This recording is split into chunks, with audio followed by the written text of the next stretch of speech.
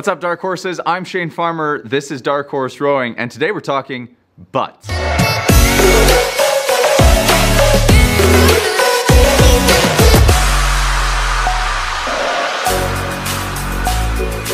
Let's talk sitting on your butt on the seat in particular. Now, there are three main connection points to the machine feet, seat, and handle.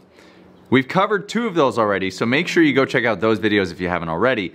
But today we're discussing how the seat impacts your performance and why it's actually far more important to your performance than you may have previously thought. As the point at which the majority of your weight rests during a workout where you are grounded really into this machine, there are four main points that we could be thinking about that are going to improve the way that you are both feeling during your workouts and also will give you performance enhancement as you're going through the workout. That would be Number one, your hip position, what your hips are actually doing on the machine. Number two is what your swing angle looks like because your hips are directly responsible for how your trunk moves. Then where your weight is hanging out in the seat in particular. And finally, we have if what your seat is actually doing as the stroke is happening. All of these things will go into play, and if you're not thinking about them, you could seriously be undercutting the way that you are actually performing through your workout. What's so important about the way that you're actually sitting on the seat? Because you have one primary focal point that is your contact with the seat, every stroke you rock back and forth. And this can either be an advantage or it can really aggravate your body depending on if you're doing it right. To make sure that your hips are in the right position, you're going to actually grab your butt. I want you to straight up put your hands on your butt and you're going to lift your butt cheeks backwards as if you were trying to point your tailbone behind you. And this is going to get your hips into what we would call an anterior pelvic tilt. Now that sounds super fancy, but it simply means that your hips are going to get into a forward tilted position instead of being dumped behind you and that way you avoid grinding your tailbone into the seat and instead set yourself up to be in good posture. Next, lock in your swing position. The ideal hip swing position is between 11 and 1. Or I guess for you, that would be 11 and one. And what I mean by swing position, because I understand that may not make any sense, is simply what your trunk or your torso, everything from the waist up, is doing as it moves back and forth, how it's swinging through space and time, if that makes sense. What we're looking at ideally is 11 to 1 o'clock. Now that creates the perfect range of motion for the hips to be able to do work without overextending or overcompressing on either end. Practice getting on your machine and swinging 11 to 1 without any other movement. You want to allow your body to be the only thing that moves, so don't use your arms, don't use your legs. Let your trunk swing between 11 and 1 o'clock over and over and over. If you have a mirror, put it next to the machine so that you can watch yourself as you move but this is the way that you are going to lock in that position and learn where 11 o'clock and 1 o'clock are for your body. Another great way to practice this is standing close to a wall. As close as you can, but I like to think about a foot's length away from the wall.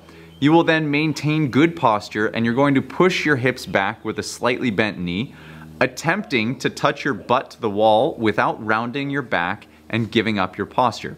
This is an excellent way of practicing good posture as well as hip swing without those two things getting mixed up with one another. Next, what's our weight actually doing in the seat? To preface this discussion, it's important for you to take a look at the angle of the foot stretchers. Generally, it's angled at about 45 degrees. Technically it's 43, but we're gonna say 45 for discussion purposes. Now, with that being said, that angle of the foot stretcher effectively determines how we should be driving our weight through the stroke.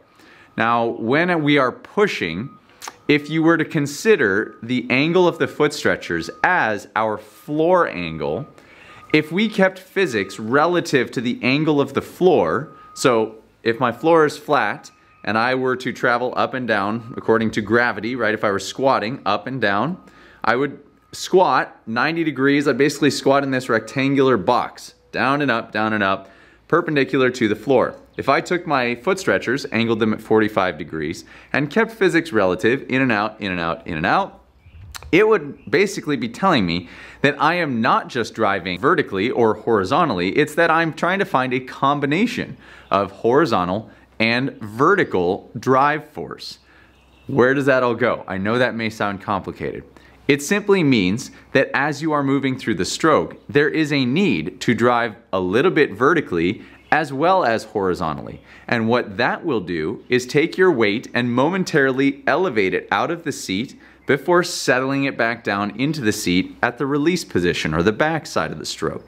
That by taking your weight out of the seat is going to help put your mass on the handle, which is going to become free speed for you because you aren't having to fight the machine as much. Instead, your body mass is going to start doing some of the movement for you. So to summarize that and make it a little bit simpler, as you are pushing into the machine and trying to create force, your goal is to push through your entire foot, meaning your heel and your forefoot, so that you are creating a somewhat vertical drive as well as horizontal, which is going to take a little bit of your weight, elevate it out of the seat momentarily before settling back down at the back side of the stroke. Now, as an asterisk to this, this is more of a good intentions kind of thing than it is an easily visible drill. It would require another person to be here in the gym with me and I don't have that, so just think about it. Do your best to really embody this idea. Finally, how the seat moves with you is really, really important to the way that you're gonna perform on this machine, and it's a very clear indicator as to what's happening inside your stroke if it's not. For every inch that your seat is moving, your handle should be moving in kind with it. Think about it. As the two are moving, they are effectively determining the two position points of your body, your shoulders and your hips. If those are moving out of sync, that was actually pretty cool. I watched myself do that on camera. I'm impressed. You're gonna actually find a little bit of a disconnect because that means that somewhere in between your hips and your shoulders, something has gone wrong to change the order of operations of the stroke. As you are pushing against the machine, you really need to be thinking about bracing through your trunk or your torso, whatever you wanna call it, making sure that your trunk is strong and rigid so you have a strong midline, your posture's in good position, your lats are tight and engaged, your triceps are extended so that your arms are nice and rigid and connected to the handle. When the trunk is braced, that means that when you go to push through the legs, everything's gonna be locked in tight and moving together. And that, my dark horses, is why we wanna pay attention to our butts on the seats on the rower. You'd be amazed how much you can gain from focusing on this singular connection point. And as I mentioned, we've done feet and hands in previous videos, so make sure you go watch those so that you get all three points of your connection to the machine shored up.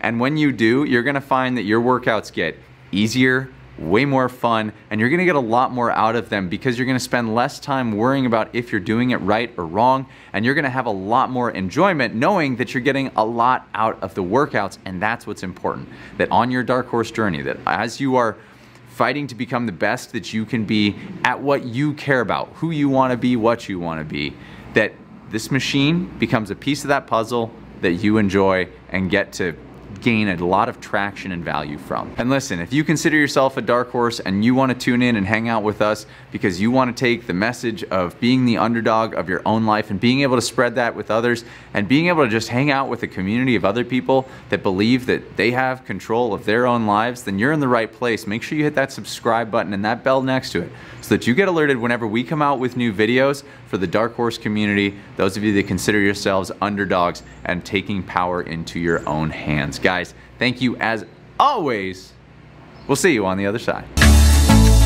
Hey, thanks for watching the video. If you enjoyed this and you're looking for more and you want workouts, continuous coaching from me and my other coaches in our private Facebook community, it's our monthly workout program. It's $39 a month. Just go over to darkhorserowing.com slash athlete to sign up now.